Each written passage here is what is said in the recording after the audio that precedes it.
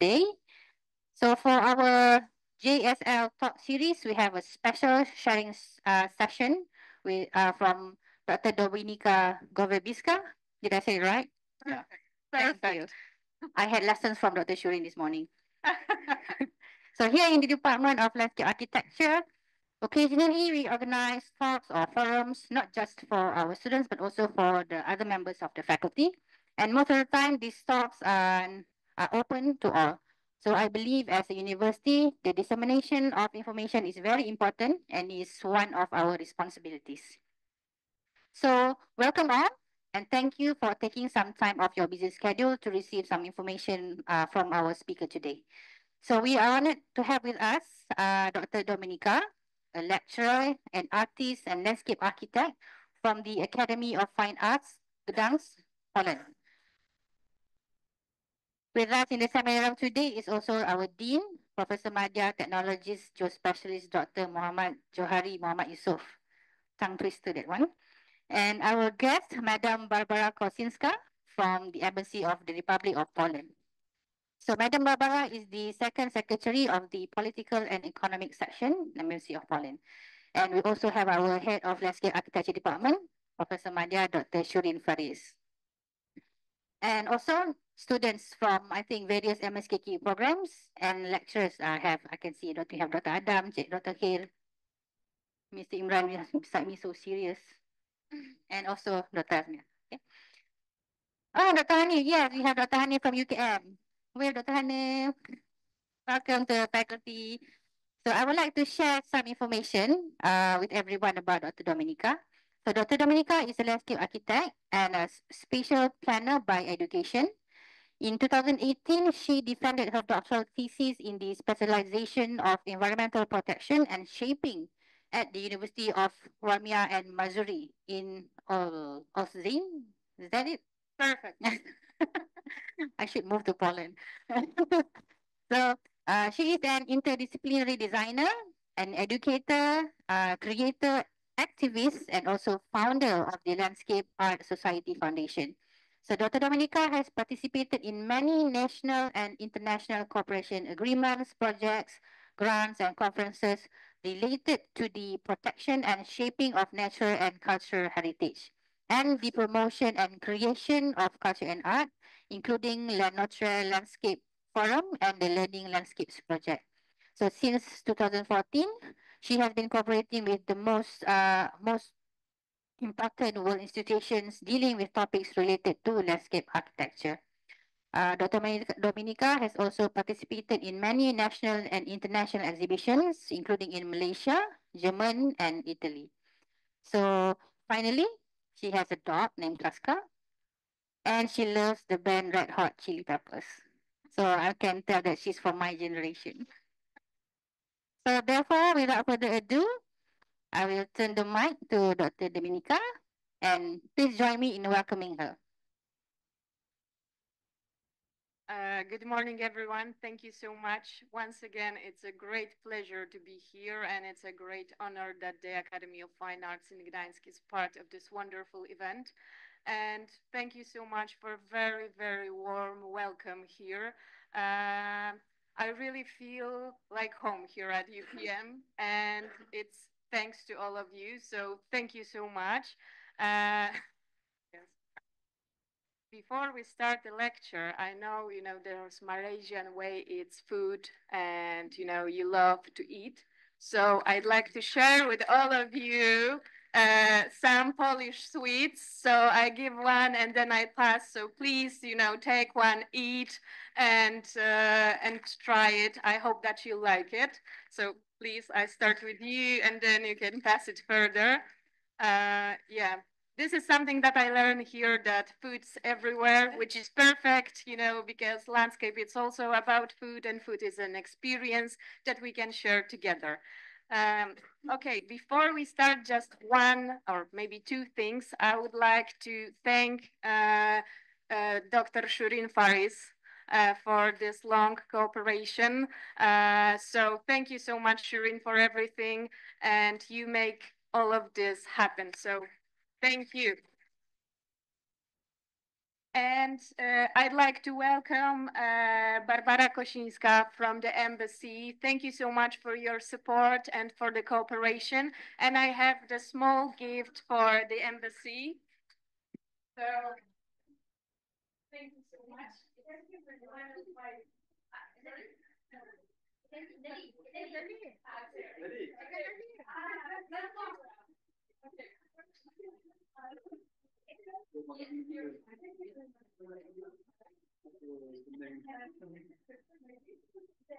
so I think that if you like it and leave somewhere in the embassy, you'll find a spot in this somewhere. Fantastic. Thank you. Thank you.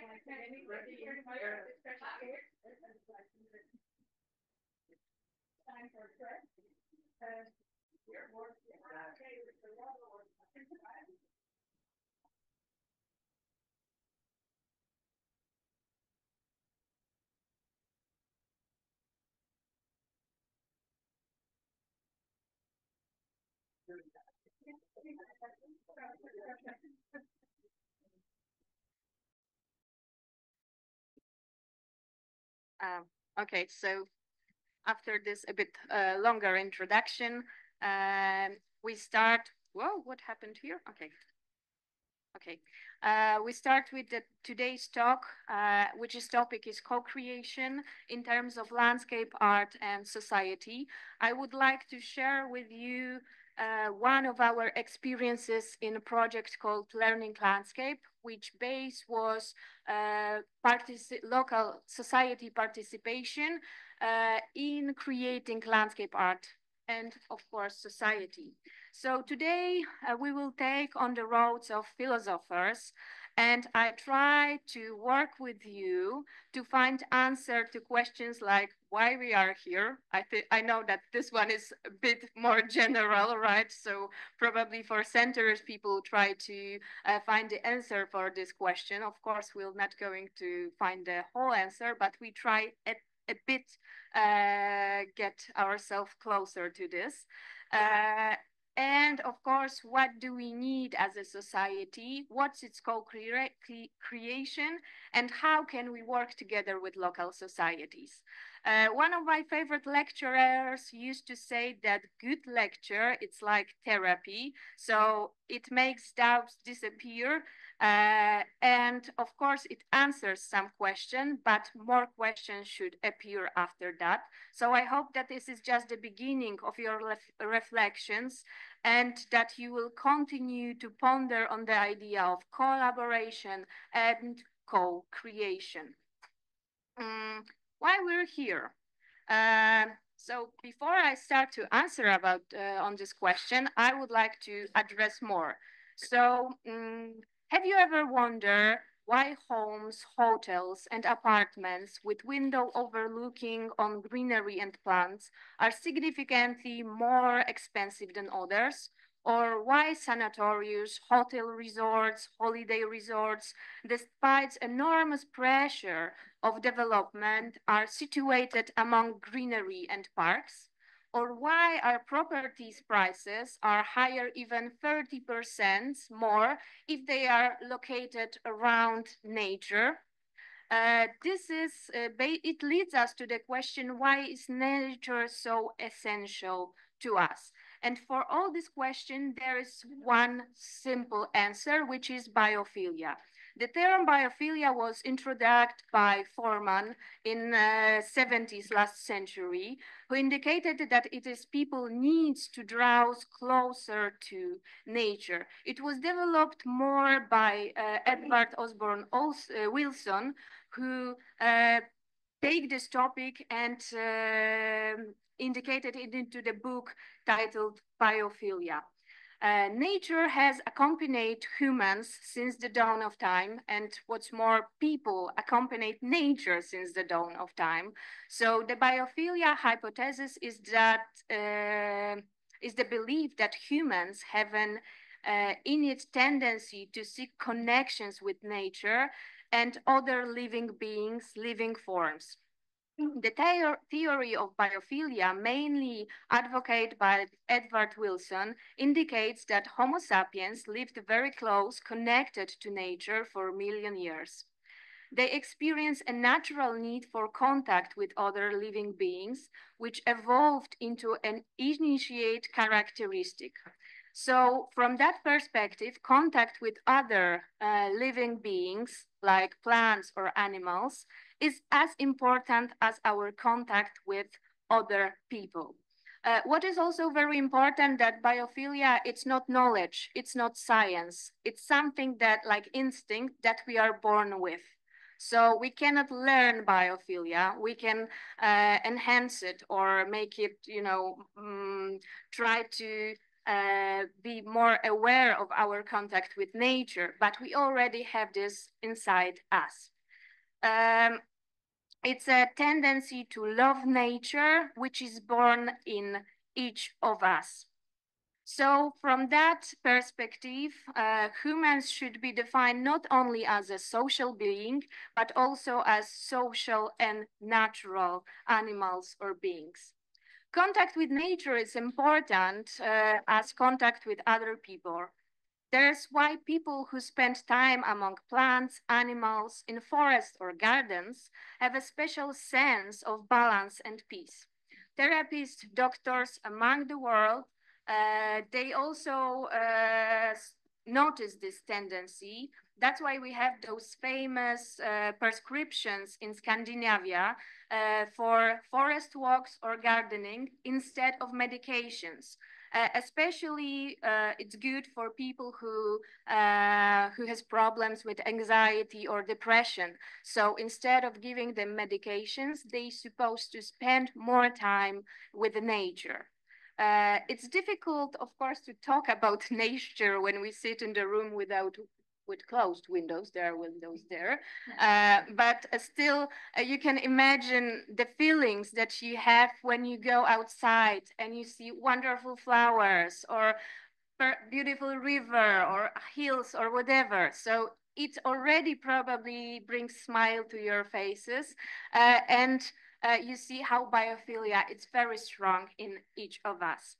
Uh, in Netherlands, the study conducted involved more than 300,000 adults and children showed uh, that uh, spending more time with nature instead of in concrete city centers helps us to reduce stress and also it, uh, sorry for that, uh, and also it helps us uh, to uh, lower risk of at least 15 diseases, including heart problems, diabetes, muscle pain, migraines, asthma, and also allergies. Sometimes we think that if we have allergies, we should avoid nature.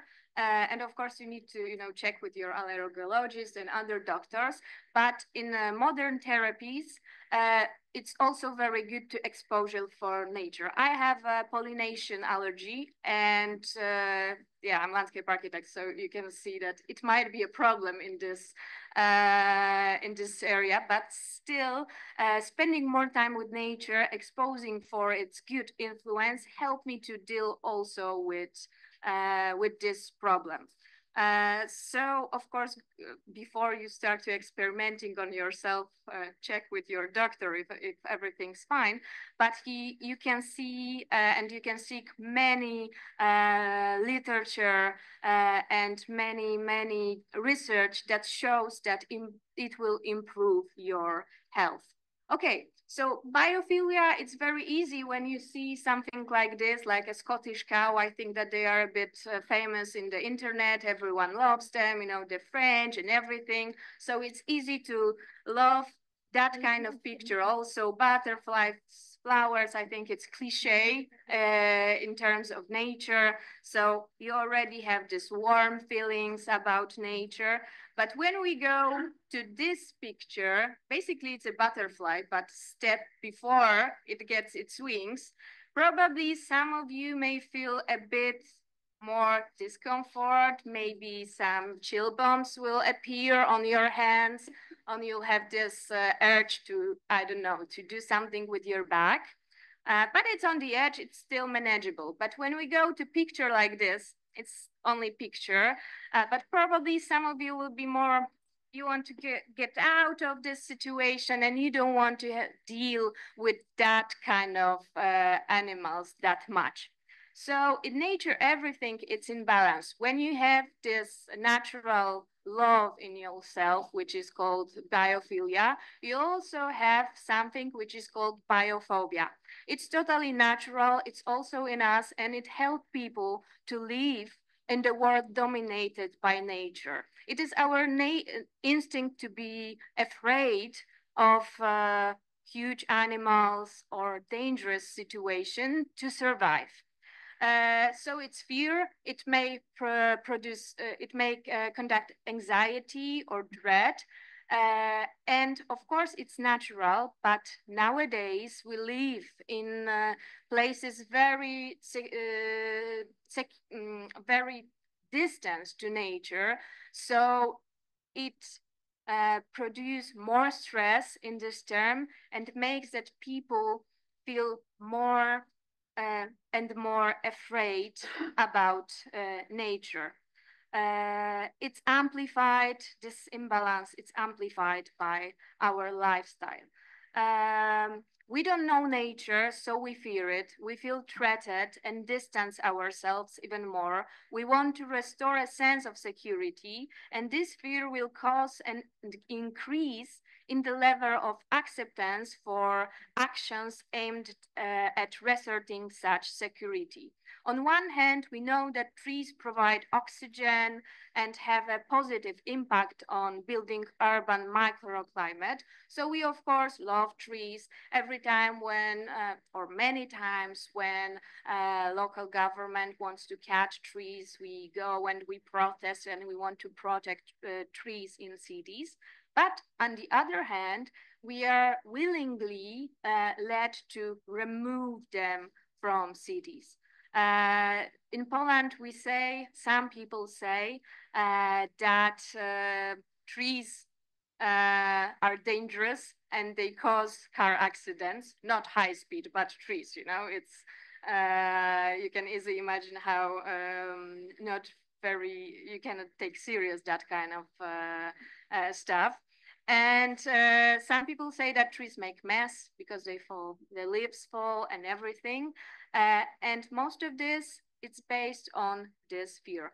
I see that also you have similar problems in Malaysia. I Google it a bit and there's many articles about this. Also yesterday I visited KL uh, Center uh, with one of uh, lecturers, Marek Kozłowski, and he told me that now it's very popular to remove trees near uh, roads to make them bigger and bigger. and also there are many people who are against but still the approval for that kind of uh, practice, it's uh, very popular. And as we all know, trees protect biodiversities, they create biodiversities, they reduce stress level, they are good for our mental and physical health, they increase uh, value of properties, maintaining stormwater cool the atmosphere, cool the uh, the atmosphere of the whole city, uh, which I think that here in Malaysia might be very important.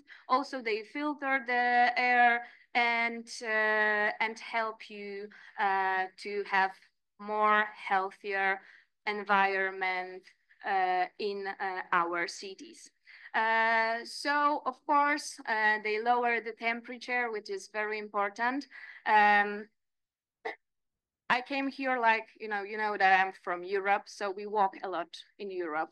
Uh, and uh, every time when I'm walking here on the road, everyone's just asking if if it's everything okay with me. Sometimes people stop their car and ask if do I need help or something like this, if everything's okay, which is very, very, very nice of you all. Uh, thank you for, for the concern. And I say, no, no, I'm just walking. I like to walk. And uh, when I ask uh, all of you here, why you don't do this? And most people say it's because of temperature. And of course, it's high temperature, but in uh, Europe, we also have like during summer, it's 36, 40. In Italy, it's 40 plus in the summer, and people also walk. And uh, I think the main problem is that you don't have a proper infrastructure for this. There's no uh, walking path, no biking path that people can easily use. And for that, also the critical infrastructure are trees. Uh, because without trees, there's no uh, natural cooling systems in the cities. Uh, so if you can think about more complex uh, strategy for this, I think that you all will walk everywhere here. I have this a bit crazy dream to make some project like, you know, walking Malaysia or something like this and, uh, or make Malaysia walkable. And uh, I hope that today it's crazy idea, but maybe tomorrow it will be a project and in 10 years, uh, it will be just a new reality. Uh, so I hope that sometime soon we'll meet on the biking path or on the walking path or under just the tree. So let's let's see what future brings. Uh, so now we know why we're here. There are biophilia and biophobia that creates everything in the context of uh, landscape, basically but we still don't know what we need. So I tell you what we need. of course, everyone needs something else, but there are some general rules. rules. Uh, first, uh, I just want to remind all of you that there are different, of course, uh, criteria uh, for space division, but I think that there are two most important. One is in terms of um, owner of the land. So it might be public, semi-public, private, or semi-private. And also about uh, the, uh, the way that you can use this space. So if it's closed or more open. And for us, in terms of uh, landscape architecture, uh, landscape architecture and also creating healthy cities, uh, we the public spaces are the most important because it's the heart and veins of each cities. This is the public space is the place where all uh, social interactions might appear. Uh, this is the place where everyone is equal. It's no one's property. It's property for all of us. So we can feel like the owner, but also like a person who needs to take care about this specific place. And uh, of course, greenery, it's one of the most important part of the public spaces in each cities. And uh, role of greenery, it might be obvious, but I want to remind you uh, that it's of course the social educational role, uh, which helps promote civil responsibility and community pride, uh, serve as outdoor classrooms for environmental educations, or encourage community to engage uh, in maintaining local environment. It's also, it has also economic role, uh, which, like I uh, said before, increase the value of uh, property. Uh, it also provides economic opportunities for local residents. It may produce and uh, contribute to food security, which is also very important now. Uh, creating green, common green spaces helps people to deal with also poverty uh, because if you are allowed to produce your own food, uh, it's better for your uh, economic uh, system in the smaller scale. Of course, it's scientific role. I think that is something that you're all uh, fond of and, and this is what we, sorry, what we do at universities. Of course, biological role, which is connected with uh, measurable impact of uh, plants and animals on our health. Uh, aesthetic role, uh, one of my professor always says that uh, if you build something very, very ugly or something not aesthetic, uh, the easiest way to do something with this is to plant a lot of greenery around uh, because it will, you know, compact, uh, deal with this situation. And uh, of course, it's shaping new conditions to grow. Um, green areas, of course, reduce negative impact of metropolitan environment. Uh, it uh, helps to mitigate climate changes and also helps with reducing noise pollution and uh, air and dust pollution too. Uh, if we think about our needs, uh, thinking about Maslow's hierarchy of needs, which is, I think, quite uh, famous and obvious, uh, we may easily notice that all of these needs, whatever we pick from this box, we can uh, we can um, we can fulfill those needs with greenery and healthy environment of life. If we think about physiological needs, uh, for instance, access to clean water or air or food, of course, green spaces may provide this. If we think about safety, like uh, health safe, also uh, clean, good environment will provide our health.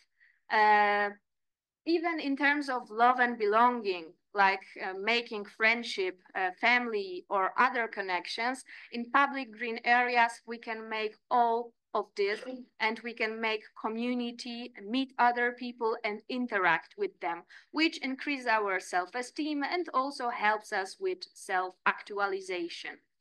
Uh, so of course, uh, greenery has a huge impact on our health. Uh, I checked that in Malaysia, the stress level as darker means the stress level is higher. So basically whole Malaysia has huge problem, you know, with this uh, stress problem. And also it might be something that we can solve with creating more complex green structures in the cities. Um, when we, I can go on. Yeah, no? Okay. Um, uh, the the other factor it's of course living environment now we're facing climate changes and this crisis so of course restoring uh, restoring uh, storm water might be also very important factor that greenery may help us to deal with and of course uh, in in Poland or in Malaysia, we have a lot of problems with flash floods. Uh, I know that you have this rain season, so there's a lot of rain. But normally, the environment try to you know deal with this in some other ways. But sometimes now we have those heavy rains like this, this flash floods and so on. So it changes a bit because of climate change. And the impact of climate change we feel like i told you now we have like 30 plus 40 plus during the summer which is not normal for us. And we try to adapt with uh, with this. Uh, so of course it's uh, we're facing those problems in Europe but it's all around the world and especially in uh, in uh, in countries like this where you have those you know very hot climate with a lot of water it might be uh, on the on one hand we have problem with this on the other hand it's uh, ground erosion and uh, drought so uh, consequences of climate change, of course, there are higher temperatures, droughts and fires, floods, uh, soil erosion, biodiversity loss and change, uh, changing uh, of marine environment because the temperature of ocean is getting higher and higher, and so on and so on. So what is not adaptation uh, for the climate change? It's definitely not cutting trees anywhere. Uh, and like I already Googled it earlier, so I Googled it more. So also I, I, I feel that this is also a topic, an issue here in cities, but also outside. What is not adaptation is removing greenery and, uh, and implementing more concrete uh, in the city centers. Even if the design looks very, very nice, especially from the top uh, or on the map, sometimes it's not good for our environment because this concrete will not um, grasp the raining water. It will not filtrated. Uh, also, it will hide the temperature on the ground, like I uh, show you on the previous slides. Uh, the temperature on concrete will be way higher than, uh, for in instance, under the trees. And there were like European examples. So of course, now I I'd like to make a review what, what I've seen here. Also huge parking lots, like we can see a lot in Malaysia. This is one uh, from uh, somewhere here in the KL uh, agglomeration. also uh, preparing or making new designs like this. This is the place where I visited yesterday. It was in the KL city center, uh, the huge space full of concrete.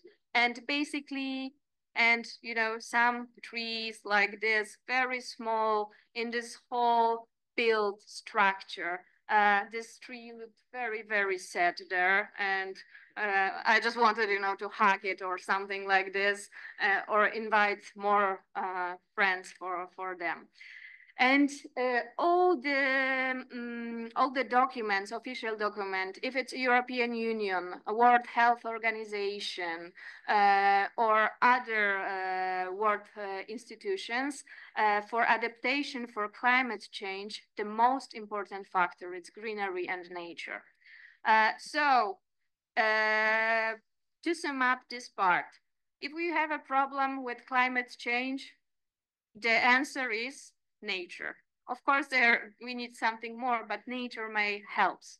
Uh, with creating good living condition, answer once again, nature, health, nature, aesthetic developments, or creating more uh, sustainable tourism, which is also connected with uh, economic situation. Uh, the answer for all of this is nature and landscape. Uh, also, uh, on these two, probably you all know, you all know these spots, right? Everyone knows them. There's Central Park and Highline, both in uh, New York. Uh, very, uh, very noticeable investitions. And uh, what's more, greenery in the city may maintain value and also brings more tourist traffic to the city. Even in that very, uh, I hope that you'll hear me all, even in this very, very dense structure, look how dense is the city, there's still huge part of greenery. And the apartments among, like around the central park, they're most expensive apartment in the whole world. And still, they're not, you know, the pressure of development stay on this line. So it's not pushing there. And probably if you build something here, it will be even more uh, valuable, right, in terms of money. So, but they keep it untouched. This is the different example because uh, there was the old line uh, and they built some green structure on this, like some kind of park or uh, green zones. And this uh, new development brings more, uh, more in the neighborhood. So um, in the neighborhood, which was very problematic and needed uh, needed some kind of action, uh, using green infrastructure there helps uh, to helps with um, changing the conditions and helps with revitalization. So it is also very important to think about greenery in different process. Tourism, sustainable, natural or nature-based, it's a very important factor of creating economic value these days. Um, most of these uh, tourist ideas, they are based on environment and landscape and also creating a good condition for mental and physical activity and health. Um, natural cultural tourism, this is something that appeared uh, like a few years ago. And uh, it also use uh, tools and uh, it, uh, it use nature and landscape and environment uh, to bring people to, to new places. And like I said, tourism is the most profitable activity in the world. So we also need to take under consideration this. And here also you have huge potential for creating nature-based tourism, even in the KL center. Uh, but also, of course, you have those wonderful natural, natural parks, but also everyday spaces. that they are uh, very desirable for that kind of activities. And what's more, I was, you know, I'm always amused about this space and I really love it.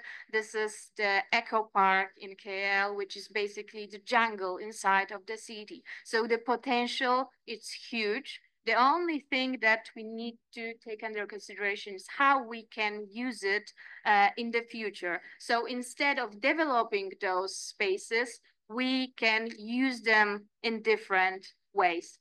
Uh, so what's the most important? Of course, context. Uh, what kind of context do you usually consider before you start your designs? Come on. What kind of context? What you think about before you start, before you make the first line on your design, what will be what you may think of? History, right, of the spot, of the place. What else? It might be culture, of course. Yeah, any, any more, uh, more ideas? Geography, yes, that's right. Yes, also.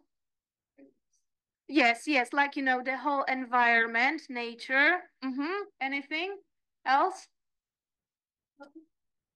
Sorry? Yes, also. So we have many, many contexts, right? Sp spatial, historical, legal, social, political, landscape context, and many, many more. And basically, this is all that we try to focus before we start, start design. In the project that I will tell you about in a minute, uh, I will tell more about landscape, art, and society context and how, to, based on this, we can create new approach of working uh, with the local society. So what is co-creation? It's something that it comes from society to the project and from project to the society because we make this with local factor. This is one of primary schools we built. Um, we built a garden there so kids taking care during the breaks instead and of course they have some time to play so it's not like they are forced to work there but they can go and take care of their own garden also pick fruits from uh, or uh, vegetables and use them uh, for lunch etc and they they really they doing it willingly. So at the beginning uh, the, their teachers they try to you know uh, in,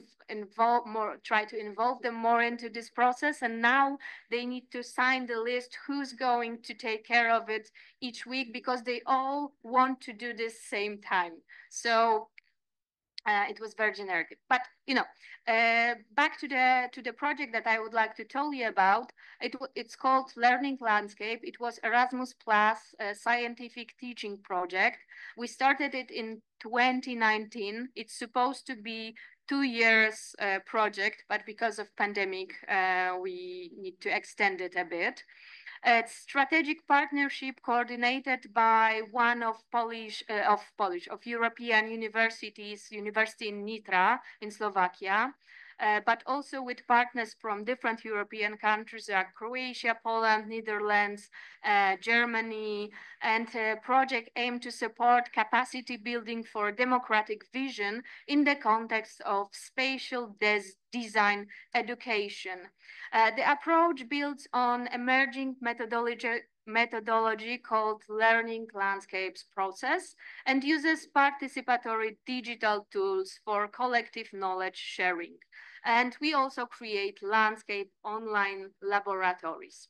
Uh, the main um, objectives of the project was to open universities uh, to their communities, uh, to prepare university staff to be facilitators, uh, to take a role of facilitators uh, in, uh, in in terms of creating landscape and landscape processes.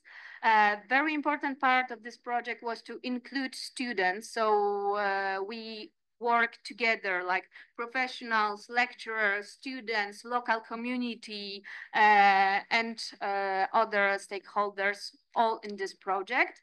And also it was very important to open up the learning landscape when they are, you know, in this campaign phase they live down there in the ground. So we don't need to build any specific infrastructure. We just need to take care that that kind of spots will not disappear from the cityscape. So also we wanted to use utility plants, but not in this very designed way, but we found a spot in the city where we can make green uh, wild pantries uh, with species that we can eat. So uh, also we we found spots where there was a lot of roses. How is rose in Malaysian? The word rose, how is it? Yeah, rose as well. Uh, okay, so maybe with this, how is nettle in Malaysian? You don't know. Okay. So I tried. Okay. So we found spots with more nettles and also linden trees that you can use for food production. Uh, and also it's good for pollinators uh, and oaks. Uh, and of course, birch trees and dandelions. Do you have any name for dandelion? I'm using it to, to learn more words in. Yeah. Same. Ah, okay, so it's easy. okay, and then we start asking ourselves edible landscapes, but for whom? So of course also for non-human beings. Uh, so it was important to introduce a bit more infrastructure, but it was more for us, for humans, to notice that our friends lives there. And because you all know that they can use also the meadow and the ground and also support bats and birds on the trees. Uh, introducing more uh, wildflower meadows, which looks very picturesque, but also uh, they are indicators of biodiversity. So from this perspective, we try to go from egocentric, uh, egocentric system to ecocentric system, which is always a circle with all nature, uh, all humans in one uh, in one spot. Uh, this is something that we did not did yet, but we we dream about this. Uh, it's um, it's the next phase of the projects when we want to implement uh, different types of lights of artificial life, a light which is good for non-human beings but also for humans. Our cities are highly polluted with light during the night it also creates many physical but also mental problems for us, and it uh, destroy uh, also our environment and uh, has very bad impact for animals and also for trees. Uh, I don't know if you heard that tree when it falls asleep, it shrinks for even to 5% of its height. So it means that the tree sleeps uh, we can measure it. So it's not, you know, uh, it's not like, uh, it's something that you can easily measure. So they also need dark uh, spots to sleep. If they are not rested well, then they start to uh, disappear and die slowly. So we also need to think about these factors uh, in the cities. So this is not something that we already did implemented, but we think about this and still looking for some more uh, funds. But in Netherlands, uh, one of our partner, uh, they basically created this uh, red lights areas in the whole city. So it's totally people and non-human beings friendly. Um, also, we implement low carbon green spaces. We thought, think about uh, water retention and restoration, but instead of um, of doing that kind of like uh, very artificial ponds, uh, we uh, decided to introduce more trees and more meadows and green spaces because they basically work like green sponges. Uh, of course, biodiversity was very important factor, especially because we were really close to the city center, and we tried to implement the um, 330, 300 rule. I don't know if you heard about this one. Uh, it's an idea implement uh, designed by Cecil Konijnendijk. He is a very famous uh, dendrologist from Netherlands. And during pandemic, he was a bit bored, so he started to think about his new projects. Uh, and he um, and one of his idea, uh, because it's very important to see the greenery outside of our windows, Uh, it's good for our mental health also. And during pandemic time, it was crucial sometimes because we cannot reach, you know, parks or green spaces. So we were trapped at, ho at homes. Uh, so he started to work with um, with psychologists, sociologists, and uh, they measured that if uh, one see at least three trees from the window, it influences good your brain. So he started with three trees. Then he decided, okay, let's develop this idea and maybe let's think about cover at least 30% of each city by greenery, especially trees.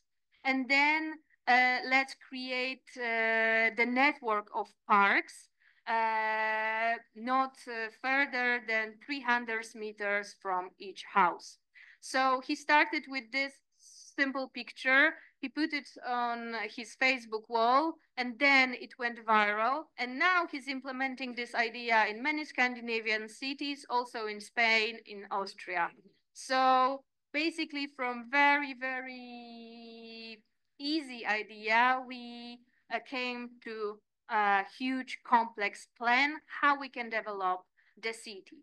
Uh, also green tourism and green recreation spots. Now we're working on a pocket park um, idea. Also uh, Insta or selfie spots because it's also very important to uh, bring more tourists to the spot. Uh, we also looked at what's going on in Paris, where they remove concrete and uh, install more green infrastructure, or in Vienna. Um, also, the thing that we're working on now, they are city forests. Uh, so we start to planting some of them uh, because as you all know, uh, being surrounded by nature, surrounded by forest also influ it have great impact for uh, our health. So now we're inviting local society, but also other visitors for park or forest bathing and also looking for forest impression spots. Uh, the one of the biggest um, the biggest um, on our mood boards always appear uh, appear natural parks and fourth nature like this one in Berlin uh, which is basically very nice nicely made so now we have a piece of Berlin in Gdańsk because we also use the same approach also natural parks like Queen's Elizabeth Olympic Park in London which we also implemented some of ideas uh, there. And uh, Landschaft Duisburg Nord, it's uh, amazing uh, post uh, industrial zone in Germany, which was developed into huge green area. And now it's all lived for nature. So we also decided to use a similar approach in our project. Uh, we were also very under influence of Henk Hofstra and other artists, uh, which work with um, art manifestations about uh, environmental topics. Like this one, this is in Netherlands, uh, and uh, it was a protest against channeling the river under the road. Uh, so we are not at this scale now, but we work on it. Also, uh, the other spot, there's Henk Hofstra's work, uh, where he, it's a protest against um, climate, not adapting to the climate changes and huge concrete uh, spots. So we can see those eggs. So he said that the concrete area, the parking area is basically like a pen. So you can uh, cook eggs there. So he painted them. And you can also see it from Google. So it's noticeable even, you know, from the satellite because it's very, very huge. Uh, also, we were inspired by nature, by land art uh, actions.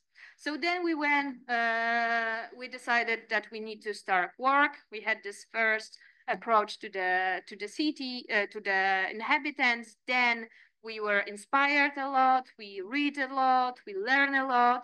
So it was time to work. So first we uh, create another set of workshops, international workshops in Gdańsk. We work with the local society. Then we went to our partners and also exchanged the knowledge between different units and different landscape laboratories.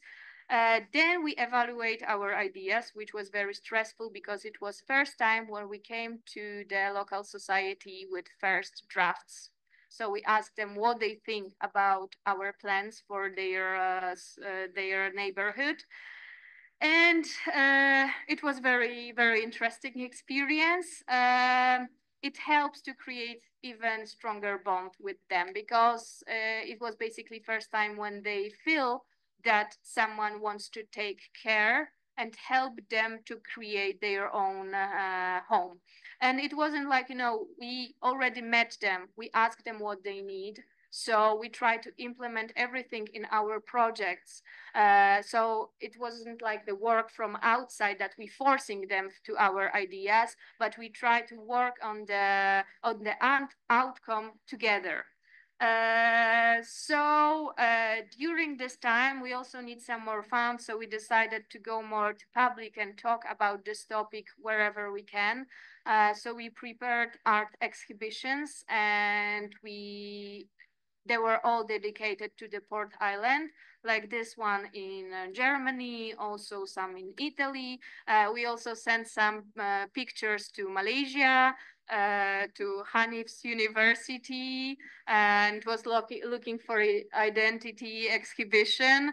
Uh, and it also helps to gain more attention to the project and uh, local society, thanks to this, feel more powerful and also it was easier for them to see that their everyday landscape is valuable and it's pretty uh, because someone else also uh, helped them to see this uh, it's almost finished uh, so we also uh, one of our students project was about looking for insta spots so they picked spots, like they look like every day, you know, it's just a building. It's old, uh, old building with very nice paint. So they uh, make the Instagram um, Instagram profile for the Port Island and pick the Insta spots, the spots where you can go and make very good like fashion pictures and different types of pictures.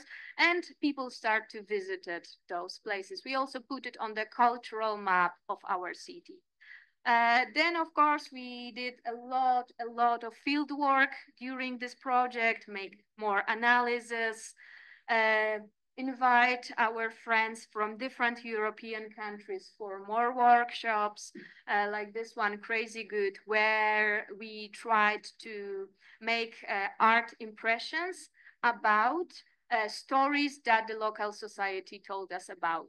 Uh, for instance, they told us that 50 years ago, there was cows all among the island and there was one particular spot on the meadow where they gather and every owner went there and picked their cow and take it back home. So, you know, it was 50 years ago and whole city was developed, but on this island, they still had cows, you know? So imagine like here, maybe not here, but maybe not from the KLCC center, but somewhere in the city, you have huge island full of cows. So we try, you know, to work with these, their stories.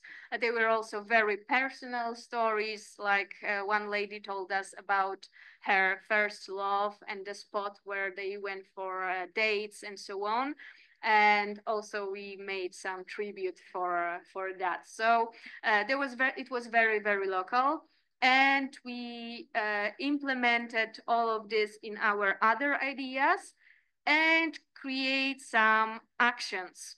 So we went there and we, we act as an activists.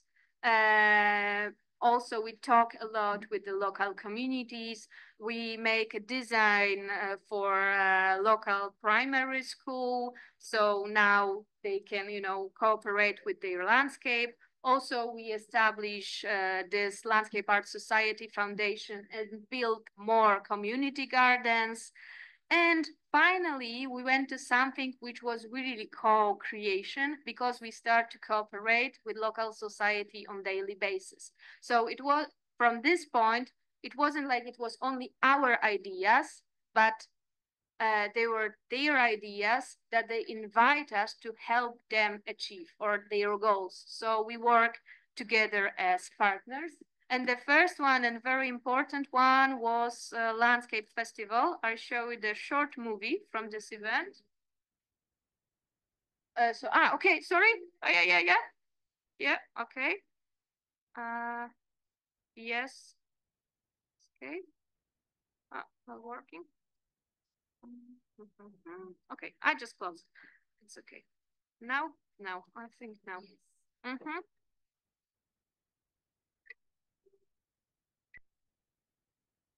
Of course, there was a lot of food because, you know, we are similar in these terms.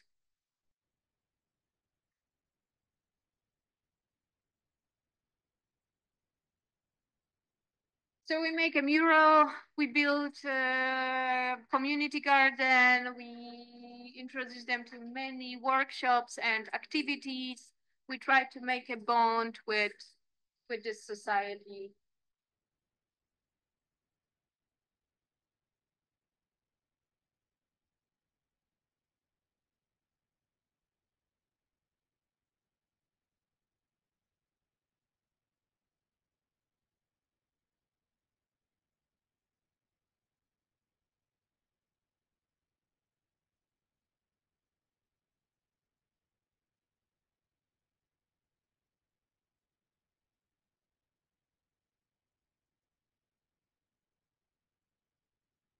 Okay, so it was the first event that we created on the port, uh, Port Island. Then we joined some of city huge art festivals and also uh, invited this festival to the Port Island. So one edition was specially dedicated to this community.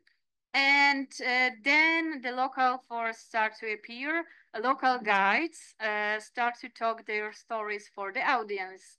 So uh, it was totally idea of the local community. Uh, so they start to do those walks. Of course, at the beginning with our help, but now they are developing it by themselves. Uh, then the library uh, invite us to help them to um, to redesign the space around the library. Also, they still need a bit help. Then the city council start to also involve uh, themselves with this uh, part of the city. So from basically no interest, we reached the point where city is very interested in doing some things with local community, but also developing more ideas there. Uh, so city asked us to conduct more uh, green workshops. I also have a quick movie uh, from this so we can see the experience. Uh, yeah. Mm -hmm. Ah, okay, it's still my presentation, sorry. I know, I know. Wait, wait, wait. Wait a sec, I'm just trying to, okay, now. Mm -hmm.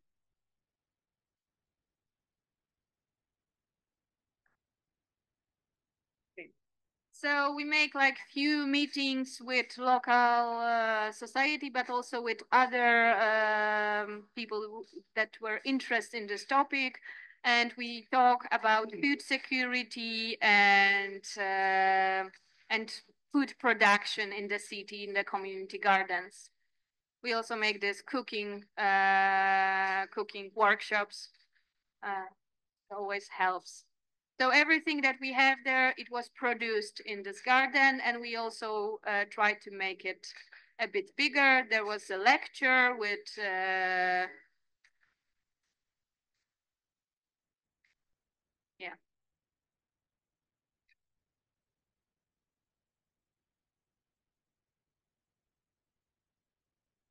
So we work a lot with our hands and also there was a small exhibition with our students work during the all of these events. And we all do this uh, outside in the field. like this, so, because it was very reachable for for everyone from this society. Okay. And yeah, where are we at? Okay. And we had one more experience. The next local uh, council asked us to do similar thing. So this is the uh, our newest part of this project. Uh, it's a community garden in next district, and we built it with our students last this uh, June or July, or on the edge of June and July. So you see, this is the a lot of work in the field. Uh, we need to uh, yeah build a bit and gets our hand a bit dirty. So that everyone works, lecturers, uh, students,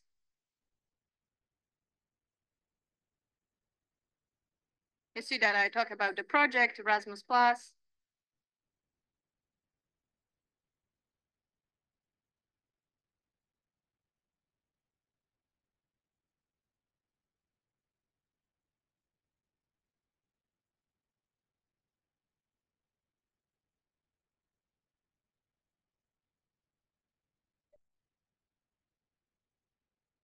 So we prepared, this is the owner of the local library from this region, and he was, he's very dedicated for the local community.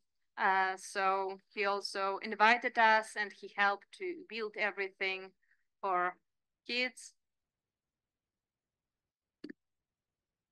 Okay. And and we also uh, tried this approach in different spaces. Uh, in Germany in 2023, we also used similar approach uh, with a group of uh, experiential landscape. We also prepared some um, some some mindscapes, moodscapes, soundscapes, so many analysis. And then we ask people what they need uh, these are the figurines like Lego, but it's something something else than Lego, as you can see here. And we made a tiny protest. We asked people to make small protest transparent for those figurines and ask for their needs. So like, like here you see Let's Free the River. There was also a problem with channeling river in the city center. And it appeared that most signs on this tiny, tiny protest were about this situation with the river. We cooperate in this project with uh, uh, with this um, Council of Stuttgart region. Uh, so then we prepared, uh, there was the main problem, missing river, and then we prepared the real protest all around the city, and which was funny wasn't, you know, like a rebel protest. It was a protest signed by the Stuttgart region government. Uh, so it was very, very, very funny, uh, this situation. But uh, after this, it went very viral, like in the whole internet talk about this. And now the city of Nürtingen is getting back the river up.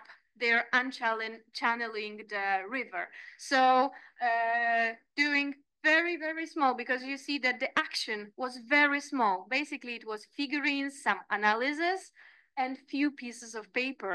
And now we have river, we brought, bring back river to life back again. There was also another project uh, connecting, connecting with this river that we tried to make, you know, those rabbit holes from time to time because it was uh, separated from from the audience of the city. So it was more performance uh, than real design, but still uh, it helps uh, to make a big change. So I, uh, to sum up, I may say that working with the local society, it's uh, based on small interventions that might made that might that make big changes. Because now our all people that we work together they do this by themselves and now they're inviting us as guests for you know their parties. We are not uh, organizers of anything anymore uh, and we can uh, observe how they bloom and they do their own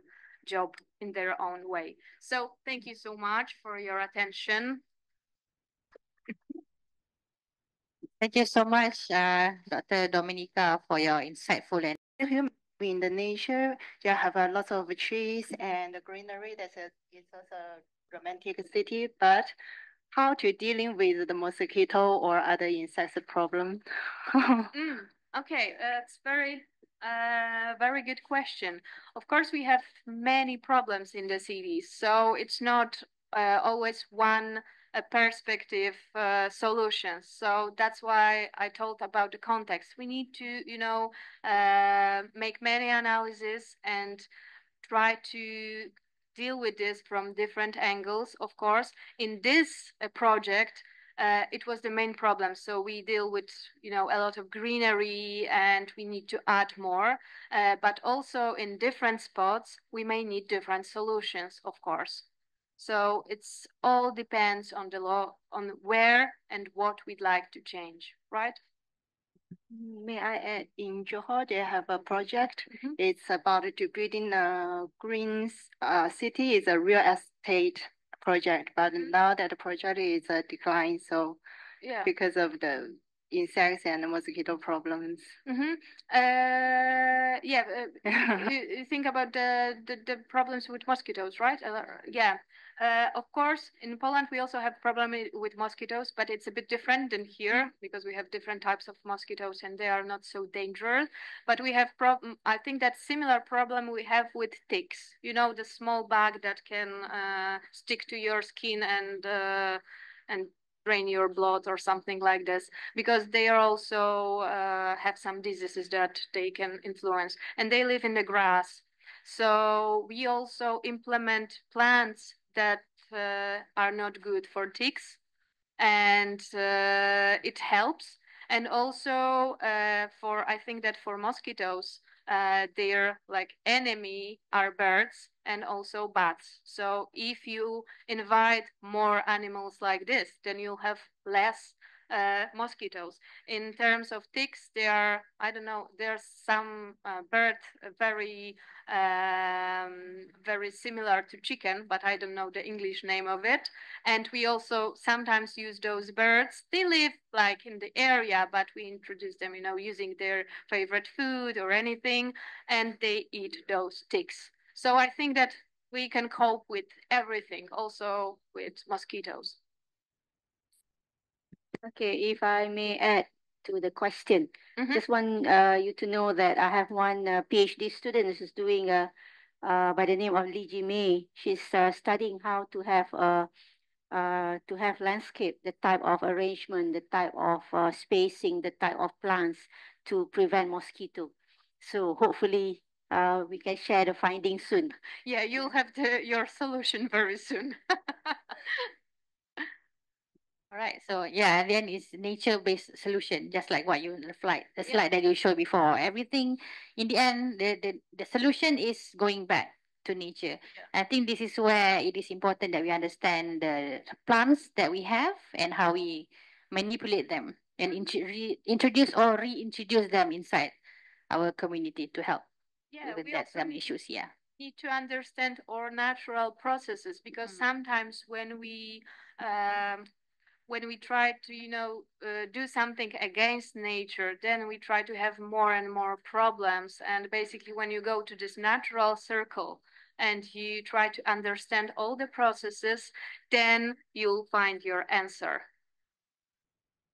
most of the time it's just misunderstanding of the process Uh, hello. I just want to share with you something. If you go uh, regarding to the mosquito problem in urban area here in Malaysia, if you like to know, if you go to deep in the jungle in Malaysia, there is no mosquito. Yeah, there is no mosquito. Just go to any deep jungle in Malaysia. So how it can happen? So that, that that's the idea. No mosquito. Only in the uh, urban or suburban area, we have a mosquito problem. So how how nature did that? So that's the, the issue here. Actually, this time I went to Tioman Island and live in the jungle, then uh, it still have a lot of mosquito. uh, that one is not a, a, a real jungle, a real forest. I mean, the, the, the you know, you go to, uh, for example, like you go to the Royal Belum, uh, you go to, uh, you know, in Sabah, what they call that? Ah, uh, Danum Valley. No mosquito. You know, the uh, the real forest, the untouchable, not the untouchable, what they call that? Yeah, just like a virgin forest. Yeah. Uh, thank you, uh, Mr. Imran. Mr. Imran is also one of our lecturer here in our faculty. Yeah. So if there's any more questions from the floor? Ah. Okay. Hi, Dr. Dominika. Um, when I look at your slides and your videos, I saw you had uh, uh, participation from youngsters, children, mm -hmm. uh, young couples. You know, um, if I compare that with Malaysian situation, based on my own experience in my own neighborhoods, um, this type of, of activities are normally participated by retirees, mm -hmm. old folks who had no jobs except mingling around with the neighborhood. Um, and I once asked my son to participate, and he said, I had no one else to talk to because I was the only young boy there. The rest are all old people. Mm-hmm. Uh, so I wonder how did you manage to get youngsters to participate in this kind of activities? Mm-hmm. Um, yeah, um, it was very important for us to reach uh, younger kids because we have huge problem with the population in Poland. So this part of the project was dedicated especially to them. So what we do, we decided to do the easiest way. We reach the local primary school and we first we made a design for them. Then we uh, involve ourselves in their school program. So we start teaching them at school in some extra classes. We built the one of the community gardens there. So they, you know, they were in every their everyday lives, the project appeared. So anytime we make all uh, more uh, events, they were always there because we were already in some kind of relationship. And also it was the best way to reach parents and older people because those kids went back home and, you know, get has huge influence on their families because they want to change something and elders they go with these ideas. So it was tricky uh, from our side to reach especially kids in those primary school. Yeah, but it was also also a pleasure. Thank you. All right. Anything, any, any other questions? Hello, Dr. Dominika. Ah, yeah, I'm here.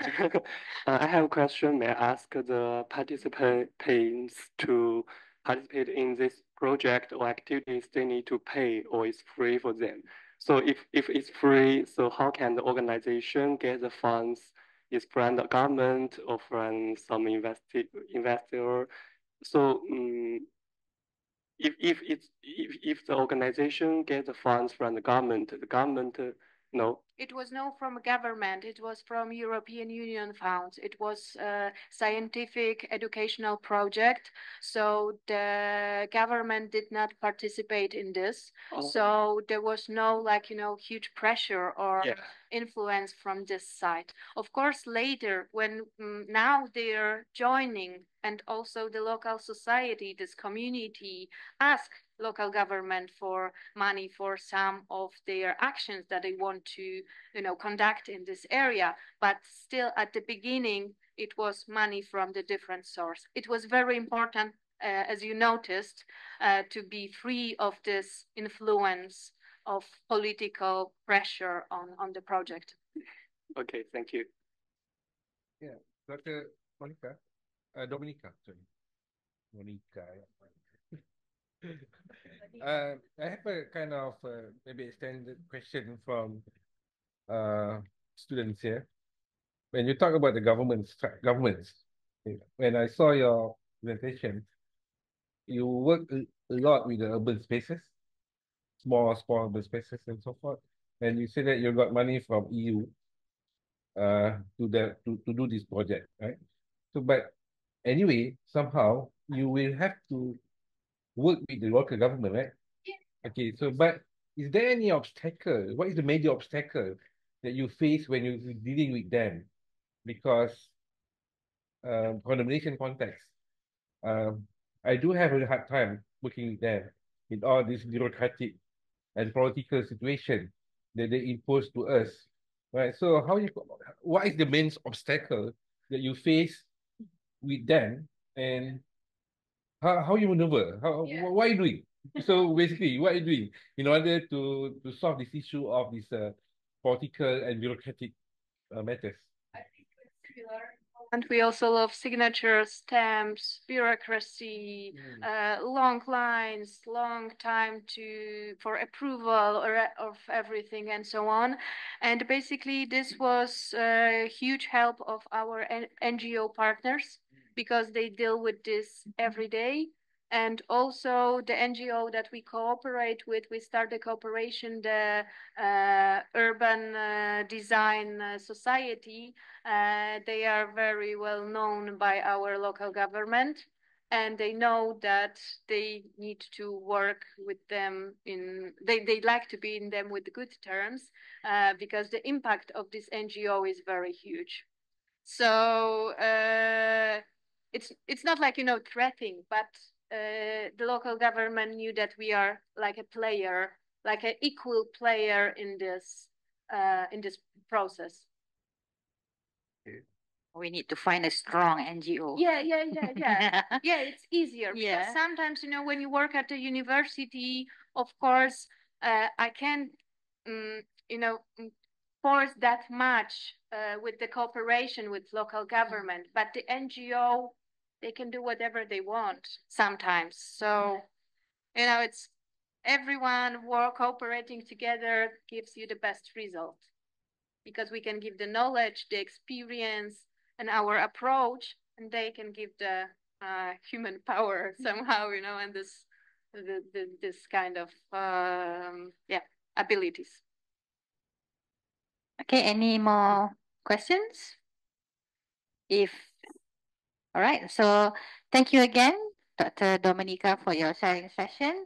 And thank you all for your participation and engagement. Uh, we hope that you found Dr. Dominica's presentation both enlightening and thought-provoking. So thank you to the, the